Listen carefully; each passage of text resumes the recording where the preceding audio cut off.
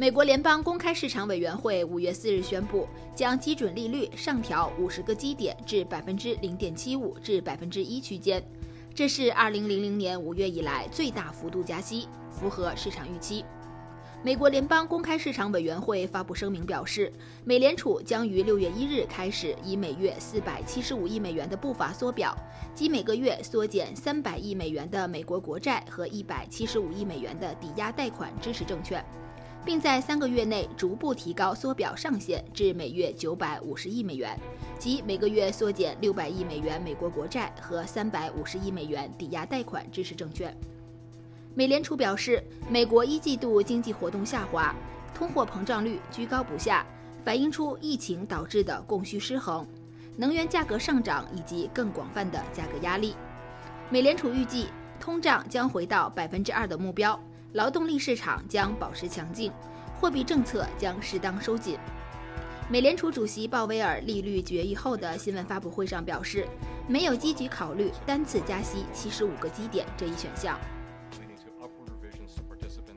美国贸易代表办公室五月三日宣布，四年前依据三零一调查结果对中国输美商品加征关税的两项行动，将分别于今年七月六日和八月二十三日结束。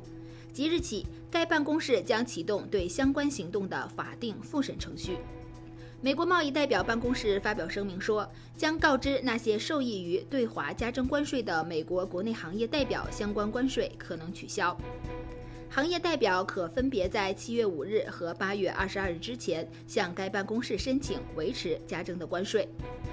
近期，美国国内有关减免对华加征关税的呼声再起。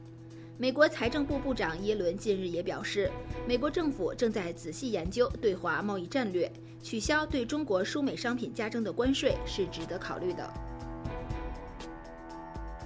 五月三日，美国公民和移民服务局在官方网站上宣布了一项临时最终规则，向等待就业授权文件 （EAD） 的移民授予自动延长五百四十天的工作许可，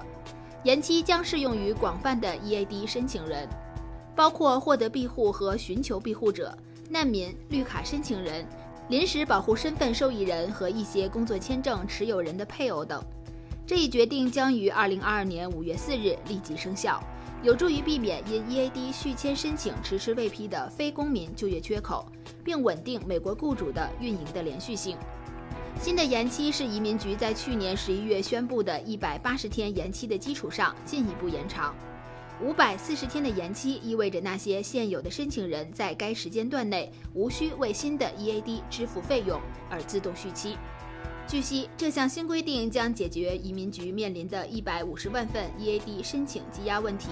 立即帮助约八点七万名工作许可已经失效或将在未来三十天内失效的移民。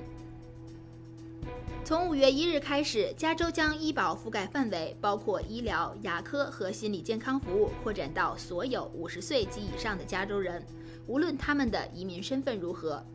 加州医保计划在二零二零年刚刚扩大到二十六岁以下的年轻人。随着规模的扩大，加州医保计划预计将为超过十八点五万名加州人提供全面医疗覆盖。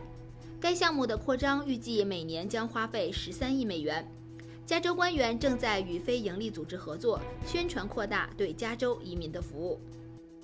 五月三日晚，在洛杉矶对泄露的美国最高法院可能准备推翻具有里程碑意义的罗素韦德案意见草案的和平抗议中，爆发了民众与警方的小规模冲突，造成一名警察受伤，并促使洛杉矶警局发布了全市战术警报。当局称，在冲突发生前，约有两百五十人在进行和平游行，以争取堕胎权。俄罗斯总统普京五月三日签署总统令，对一些国家的不友好行为进行报复性的经济措施方面的回应。总统令包括禁止向俄罗斯境外运输有利于被制裁的组织及个人的原产于俄罗斯的产品和原材料，禁止对被俄制裁的组织和个人履行交易义务和金融交易。禁止俄罗斯官员与受到俄制裁的公司和个人进行交易。该法令将自公布时刻起生效。此外，普京还要求联邦政府在十日内确定被制裁组织和个人的清单。